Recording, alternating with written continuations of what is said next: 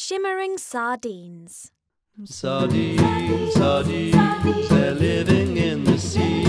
When served up in a salad, they're fantastic for your brains. Hello! Hello, Hiya, everybody! hello. Hello, children! Hello, classes! Welcome to this online field trip coming to you live from Newlyn in Cornwall, which is the very furthest south-west part of the UK. I'm Sam, this is Sam as well. Hello. Now, Newlyn is a little fishing village um, and they've been fishing here for years and years. And I know that some of you have been learning all about fish in your classrooms and the different type of fish that are caught around the UK. Well, today we are dockside. How cool is this? The sea is there, there's some bobbing boats, and we're going to find out all about local fishermen, Sam Lamborn, and how he catches a particular type of fish, a special fish called Cornish sardines.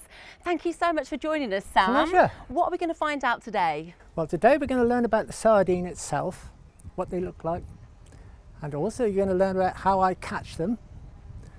And finally, you're going to learn at just how good they are for you to eat. They are really, really good for They you, are. aren't they? They're they brilliant. are very, They're very brilliant. tasty. We've also got a very yummy recipe for you to follow at home as well. So, so much coming up. Should we meet our schools? Yes. Okay, Come on. let's go over to our first school, which is Foula School in the Shetland Islands, uh, where Miss Smith is there. Hello. Hello, Foula School. Hi.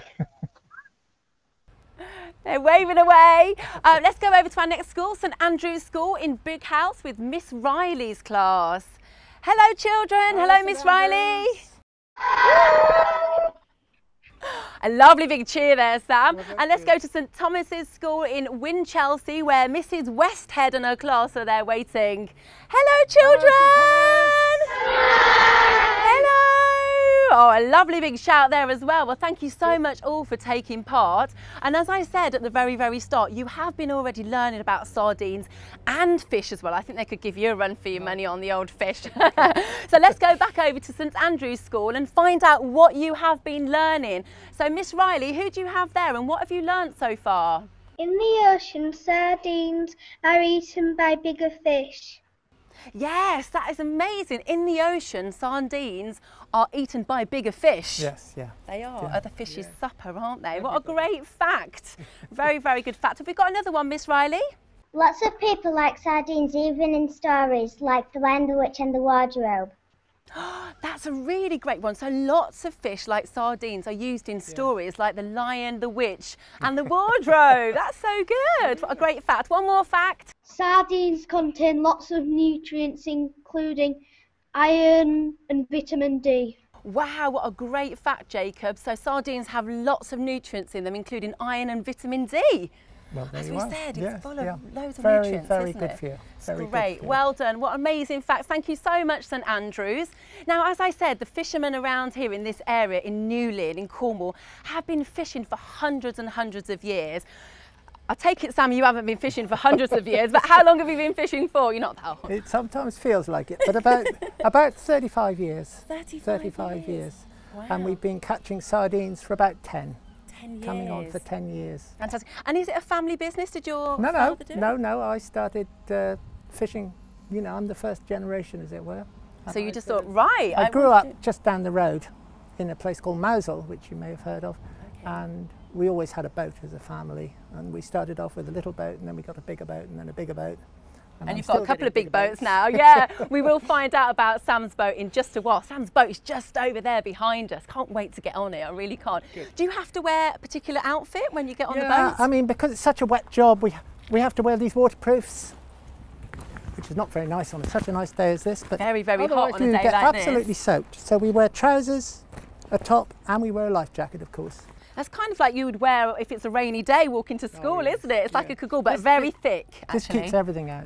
But it's very hot to wear when it's such a nice day as this. Yeah, it's lovely. Yeah, you don't need to wear that much, though, do you? We won't no. put those on when we get on your boat. Yep. Now, as we mentioned, and I think it was Jacob that mentioned about the fish being really, really healthy for us. It's a sardines are a, an oily fish, aren't they? Yeah, Which makes them very special. Yeah, one of the most oily fish, and they're very high in this omega-3, which I think everyone will have heard about. And that's very good for your heart, for your brain, very good, makes you learn, Get that, children? very good for your heart.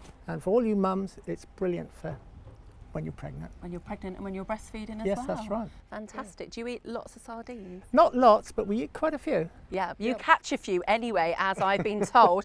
I'll tell you what, let's go to a little video now and let's watch Sam in action with his crew out fishing at night time, hoping to net themselves some shimmering sardines. Fishing for sardines. The sardine season starts around July and can last until February or March. Sam and his two crew members fish for sardines on his boat, the Lyonesse, in the Cornish Sea. The Lyonesse is a special kind of fishing boat for catching sardines. It's called a catamaran and has two parallel floats. Fishing for sardines happens at night time because that's when the fish swim closer to the surface. The Lyonesse has a sonar ah. on it to help Sam see where the sardines are under the sea. Sam needs this technology because the sardines are very nervous fish, and if the boat creates lots of noise and light, it's easy to scare them away. The sonar scans the water and shows a picture on a screen. The red shapes are the schools of fish. When Sam has located a school of sardines, he and the crew set the nets. They have to do this very quickly. As it is dark, the fish don't see the nets and aren't scared, so they are much easier to catch. The nets circle the sardines. Then the crew slowly pull the fish up alongside the boat. The shape of the boat makes it very stable in the water, which helps when they have to pull up the heavy net full of shimmering sardines. The crew use a special pump to suck the fish out of the net and straight into the bins full of ice. They need to chill them straight away, keeping them cold so they are lovely and fresh when they arrive into store. Sam sometimes catches as many as 96,000 fish in one night. They weigh as much as 8 metric tons. That's heavier than a fully grown male elephant. After a long night's fishing, at around 2 a.m., Sam and the crew take the boat back to Newlyn. The fresh sardines are unloaded onto the quayside. Then a forklift truck puts them onto a refrigerated lorry which is waiting to collect the fish. Just 36 hours after being caught in the net, one of Sam's sardines could be on the counter in your local shop. Okay, so we are on Sam's boat, the Lyonesse. This Welcome aboard. Thank you very much, Captain. Can't wait to take a look around. Before we do that, though, um, let's find out a little bit more about the season. So, what is the season for catching sardines? The best time to catch sardines is in the autumn, um, but we start actually next month, sort of towards the end of July, and then we fish right through till after Christmas, probably March at the very latest of next year. But the very best time is in the autumn. And why is that the best time? That's when the fish have got so much oil in them ah. and they taste so much better. That's when they've got these high omega 3s and so on. So Really? that, that's why I think. So after that, they, they taste wouldn't- they taste the very best. And by the time they get to March, then the oil is going down. Okay. But if I had to choose, that's what I would choose Yeah. in the autumn. And when is the best time of day to fish for sardines? The best time, as you've seen on the video, is we go out at the end of the day. Just as it's getting dark is the very best time. And that's when the fish come up to the surface or tend to come up and they all bunch together in schools so that we can set our net around them and catch them. So that's the best time of day. So in the daytime, though, you're just sitting here with your deck chair and enjoying this view. Take a look at this view, children. this is pretty amazing. So do you get time to just enjoy this in the day? Not a lot, but we, of course, we enjoy it all the time and, um, you know, we get rather used to the view and so on. Are you tinkering uh, with the boat, having to? Oh, there's always jobs to do. it. Yeah, there's always jobs to do and maintenance to do and fuel to get and all these sort. There's a myriad of jobs to do because everything has to work. Okay. Well, let's take a look at all these bits and bobs that have to work. Let's Yeah, take a look right. around your Good. boat. Good, We did see it in the video. So can we go inside Yeah, the, let's- the main bit where you steer the Let's boat? start in the wheelhouse. Okay, lovely. After you. Okay, so it's called a wheelhouse. I guess it because it's got a There we are. Steering That's why it's called the wheelhouse. This is where I am when we're fishing, and this is where I sort of what my job is to find the fish, okay. to find the shoulder fish that we can set our net around. And for that, I can't switch it on because the, we're nearly in the mud here at the moment. We have a sonar, And that's the thing that you saw on the video, I think. Oh yes, And that, yeah. that looks ahead and tells me where the fish are ahead. And it starts off, we start off with a range of about half a mile all the way around us. looking. wow. And then we've got to get the fish just about 30 metres away from us. Right. That's where that's the ideal position for us to start setting the net. So we have to creep in quietly. Right. Yes. Quietly and does then it. once we're ready to set the net, I call to the crew who are back in the back of the boat and they throw the flag over and the net starts going away. So that's the exciting bit. Yes. It all takes about only a couple of minutes, three or four minutes to get the net set all around the fish. And if we've got it right, then we cut some. Should we take a look at the net? Yes. Come on. Yeah.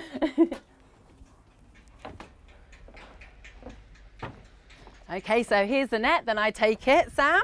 Yep, here we are. And you see what it is, we've got all these corks along a rope on the top, and here we are with the net. And you see how fine the mesh is? Little tiny meshes, because we don't want the fish to get caught in them. We just want them to hold the fish a bit like my hand and not get stuck. Hmm. And this net goes all the way down 30 metres to another rope, and this rope here, you see, that rope there is filled with lead, little pellets of lead, and it's several kilos a metre. And that's what makes the net hang down in a curtain when we set it. And tied to this rope at about 10 metre intervals are these rings. What we call them rings, they don't look anything like a ring, do they? But they're clipped on to the, that rope, and then we thread what we call our purse line. Another rope goes through there, and I'll show you that in a minute.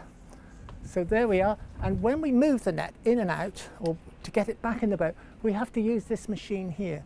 And it's got three rollers, and the net weaves in and out of the rollers because when it comes out of the water, it's wet and it's just far too heavy for us to handle. that looks amazing. That looks like it could pick quite a heavy load up. Oh yes, yeah, that it is quite up a strong, quite strong, and we, we wouldn't have a hope of being able to handle it because when it's wet, it's just waste Yes. time. Yeah.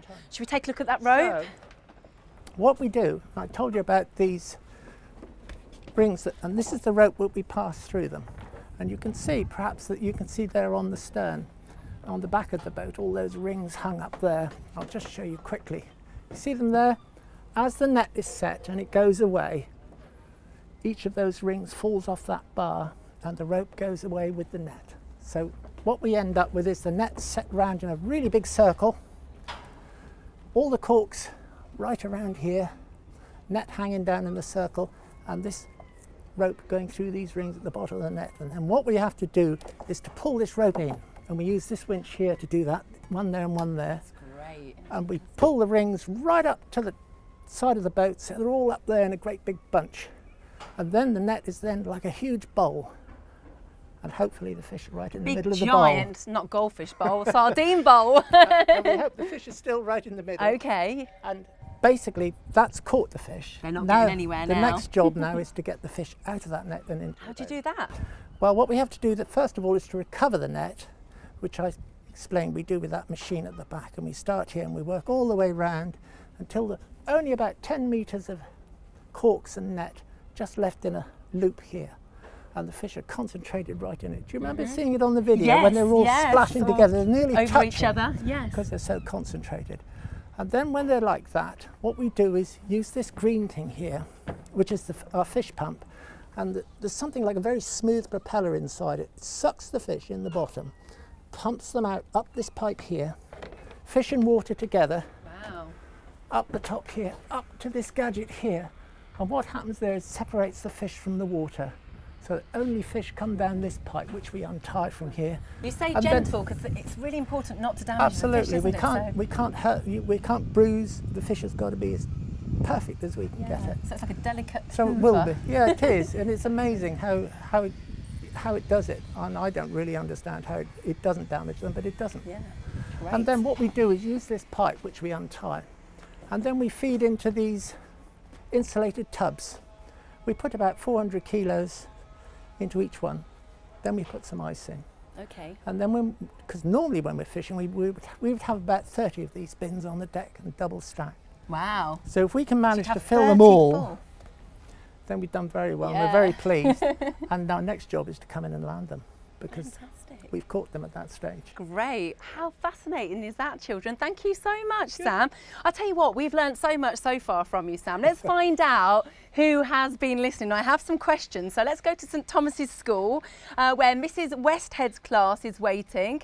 Um, who do you have there, Mrs Westhead, to ask my, answer my first question? All right, I think Vic's going to have a go. Lovely. Okay, my first question is, when is the sardine season in Cornwall? Um, June and June and February. June to February. That's pretty much Spot right, on. isn't it? Spot, Spot on. on. Well Spot done. on. Well okay, my done. next question. What time of day is best for catching sardines? Night. Nighttime. Well done. You have been listening. Uh, and my last question can you remember one reason why omega 3s in sardines is so good for you? Oscar's going to answer this question. Um, it's good for your heart, brain, and that's it. I think. That's amazing. Well done. It's good for your heart and for your brain. There you are. They have been listening, haven't three. they? Yeah. Well done. And sardines are so good for you. Um, have you ever tried a, um, a sardine fish finger, Sam? No, What? How do you cook yours? I just, well, I don't cook them, my wife cooks them. and I, I like them grilled with just some salt and olive oil on them. okay, So I get a well, lovely taste. that sounds lovely. But you may like to try a sardine fish finger because right now, here is how you can make them at home, and they're really yummy. Sardines. Catching to cooking. Frozen fish fingers that we buy from the shops usually have cod or haddock in them. These fish usually come from deep water far out in the Atlantic Ocean. They are caught by fishing trawlers that are much bigger than Sam's. But sardines swim much closer to shore, and so a smaller boat like Sam's can be used to catch them. This kind of fishing is called inshore fishing, using smaller nets which are much better for our environment because it stops something called overfishing. Overfishing is where we take too many fish out of the sea, leaving nothing left to catch the next day. Did you know it's really easy to make your own fish fingers using fresh sardines like the ones that Sam catches? You'll need the following ingredients to make 8 sardine fish fingers 1 egg, 85 grams of breadcrumbs made from day old bread, 4 fresh sardines. You can buy fresh sardines whole. You could cut the fish into fillets yourself at home with the help of an adult. But if you don't want to do this yourself, you can ask the fishmonger to do it for you. Once you have your fillets, heat the oven. Next, you need to crack the egg into a shallow dish and whisk it up. Then, get a baking tray and grease it. Or you could use grease proof paper. Dip the fish fillets into the egg. Then roll them in the breadcrumbs. Now dip it in the egg again. And back into the breadcrumbs. Then put it on the baking sheet. When you've dipped all eight of your fillets, put them in the oven and bake for 15 to 20 minutes. They are cooked when the crumbs have gone golden brown. When they are ready, try them in a sandwich with some lovely green salad. How yummy did they look? You are going to love trying those, Sam. You really Well, are. I'm going to try. now we're back on dry land and we've left the boat over there, look, just bobbing along. Um, I think it's about time we found out um, uh, whether you've got any questions for Sam because, you know, I think there's probably quite a few people there, or quite a few children that have these burning questions. So let's go over to all of our schools and, um, and give you an opportunity. So let's go over to uh, Foula School, first of all, in the Shetland Islands. Miss Smith, do we have a question? Is it hard to catch sardines? Great question. It's, is it hard to catch sardines? Is it, is it hard, yes, Sam? it is. At times it can be very difficult, particularly at the beginning of the season when they're very sort of um, timid and easily spooked. Oh, But other yes. times they're easier. So, but I think on average, yes, they are quite hard to catch. They are quite hard to catch. You should catch other fish, the easier ones. Great question. Let's go to St Andrew's School now. Miss Riley, do you have anyone with a question? What's the strangest thing you've caught in your net? What a great question. What is the strangest thing you've caught in your net, Sam? Oh my goodness. Um, probably a sunfish. A sunfish. What does that look like? Well, it's the most, you wouldn't hardly know it as a fish. It's an odd thing. It's sort of almost round. It's got a tiny little fin at the top. And I think one at the bottom as well. Anyway, you had to lift it out and put it over the side. You put it all back. Mm, Oh yes, it was all right. It didn't mind very much, but I think that's probably the oddest thing. A sunfish. wow. Okay, do we have anyone else, Miss Riley? On average, how many fish do you catch a day? Great question. Um, ha- on average, how many fish do you catch a day? Oh my goodness. Sometimes we only catch, gosh, about half of one of those tubs you saw on the boat. Yeah. That's when it's really, they're very hard to catch then. And sometimes we fish them all up. So it might range from, I don't know, a thousand fish up to hundreds of thousands of fish. Wow. So there's huge variation. yeah, I'm guessing your boat sort of gets weighed down Oh, with yes, all that when- fish. When we get to 100,000, that's, that's full up. You can't. And then we yeah. have to come in. Okay, fantastic. Do you have someone else, Miss Riley? One last question from you. What do you like about fishing? Great question. Connor wants to know what do you like about fishing? I think to some extent the freedom. I've always done it. I like doing it. Um, I don't think you're going to get very rich if you go fishing, but I wouldn't do anything else. And if anybody wants to go fishing, good luck to them. Oh, They brilliant. Do you sing? Life No, I don't. I. I, I don't actually sing at all, Okay. but I do love fishing. okay, fantastic. Great questions from St Andrews. Let's go to St Thomas's now. Have you got any questions for us, Mrs Westhead? How many members do you have on cr- on your crew? What a great question. How many members do you have in your crew, Sam, on your boat? There's three of us. So I work with Barry and with Will, and they each have their jobs to do.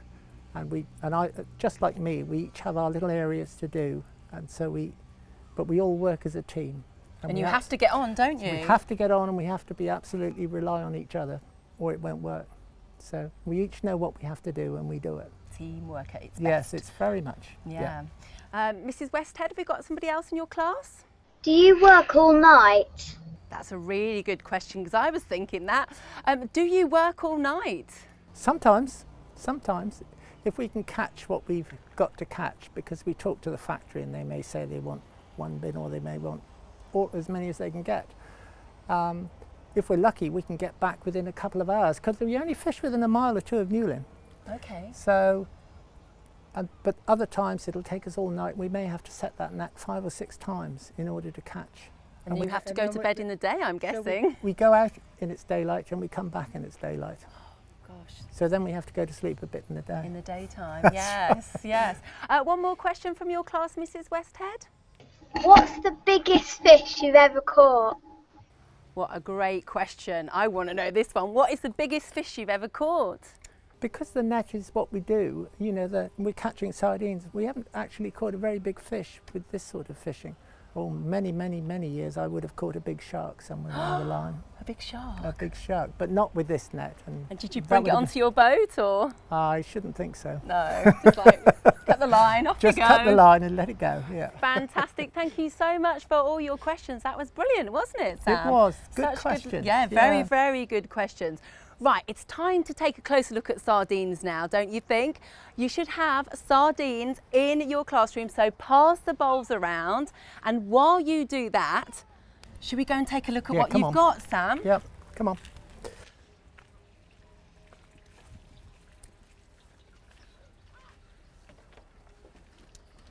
Wow, you've got a lot of fish here. I should think we have. so I think Here these are we are. aren't Here they? are. This is the sardine. This is what we catch. And that's about the size of the fish we catch. Sometimes they're a bit bigger, sometimes they're a little bit smaller, but Yes. that's the size we're looking for. Here you see the eye and the gills, Yeah. and these got big, big scales on them, about the size of the your little fingernail. Quite big scales for such a little small oh, fish. Oh yeah, and they come off. They're like see-through. And they're almost armour plated. Yeah, See? And they're very see-through. amazing. Yeah. And that's what protects the fish. That's great. So there we are. And you can fillet them and Lovely so on, as you've seen very very with your cooking. What else do we do we have here well, then? look at all these fish, and all these fish are caught around here and landed in Newlyn. So different boats, all we, all these boats you see in the background here, Mm-hmm. all these boats catch different fish. Here we've got a hake, catch a lot of hake here in Newlyn, lovely fish to eat. Over here we've got a turbot, flatfish. Do you see? Yeah, Do you see? It's just completely flat. completely flat. Yeah. You see, whereas the hake and so on are round fish. See, Ooh. completely different shape. Yeah. That lives down on the bottom of the sea. Okay. This lives up a little bit. And they'd all taste completely different, all of these. would All they? of them, and there's some of them are not very. You may well know not know what some of them are, but they're lovely fish to eat. crabs down there. Yeah, we have some I'm crabs, Yep, don't we? You crab. There's a spider They're crab. really big, aren't they, for crabs? Lovely fish to eat. Gurnets. You won't have seen probably very many of them. Lo- uh, very people are just beginning to eat them now. Really good Okay. fish. and I think fish. people may recognise this more with a with a batter on, like the in a ring. There we have the squid. You see, I'll lift one up so you can see it. Because this is how they make calamari, the- isn't it? There you are. See the tentacles? Ooh. she says what they do back. Woohoo. That turns into calamari, which you've probably had with breadcrumbs on. Yes. Lovely thing to eat. Very, Excellent very fish. amazing. It's so good. So Have you we are. eaten all these before yourself? Yes, I think just about everyone. Yeah. Okay. Yep. And they're all different. I'm loving these fish. Let's see what our schools think of the fish now Yes, as well and what you thought of the sardines. Let's go over to uh, Foula School. What did you make of this fish and the sardines in your classroom? I thought they were bigger. Oh, okay. Um, um, Miss Smith's class thought that the sardines were going to be bigger. No, no, no, No, there- there's so many they're- big they're fish, only but about sardines are small. That big. They don't grow much bigger than that. Yeah. And sometimes you can catch them when they're much smaller. Let's go over to St Andrews now and uh, Miss Riley's class. What did you make of the sardines and, and the fish we've got here? The, some of them are curved. Some of them are curved. Well, they are, aren't they? yes. they are. Most of them swim straight and they're put down curved actually. They can't. oh, like they look to, to look good. yeah, to look good. But Okay, let's go over to St Thomas's, um, to Mrs Westhead's class. What did you make of the fish? We thought well, they were going to be smaller. That's that is such a good point, Sam. They thought that they were going to be smaller, the fish. oh no, no, they're some of the fish that are caught here would be bigger than that. There are about 30 different species there. yeah. And sometimes on the market here, you would get it as many as 40 different sorts. That's the fishing is that's one of the characteristics of the fishing here. We catch lots of different sorts of fish. I guess a lot of people are used to sardines in like little cans, or you know, if you get them in the supermarket in cans, then they, they do look like they're quite small, don't Yeah. they? No, no, Are we going to eat some of this tonight? Yeah. I don't know whether you are. I think some of our schools are. Are you going to give the uh, the fish fingers a go? I think they will I think be. I'm going to, or They I'm, go- will I'm going to see yeah. We've almost come to the end of this online field trip. Um, one last question for you, though. What's the best thing about being a fisherman? I think the freedom probably. Yeah. It's not nice all the time. It sometimes it's really horrible, but the good times are better than the. They, they make up for the bad ones. It beats sitting behind a desk, doesn't Oh it? yes, I don't think I could do that. Yeah. Thank you so much. You've taught us so much today, Sam. It's been brilliant. Really good to be here dockside with you and on the boat as well. We have learned um, all about the sardine se- uh, season, about fishing at night, and I didn't know that, uh, using a sonar to catch the fish, which is very, very important indeed, and just how good they are for us. And of course, we've even taught Sam a fish finger recipe. Certainly we have. taught you something at least. Okay, don't forget if you'd like to take part in a field trip going to a farm or to a, a factory, um, then all the details are online right now as well. All you need to do is just get in touch and you could be having lots of fun like the children you can see right now at a Farm to Fork field trip. So do get in touch and we'll see you next time from Cornwall. Goodbye, goodbye Foula School. Goodbye St Andrews and goodbye St Thomas.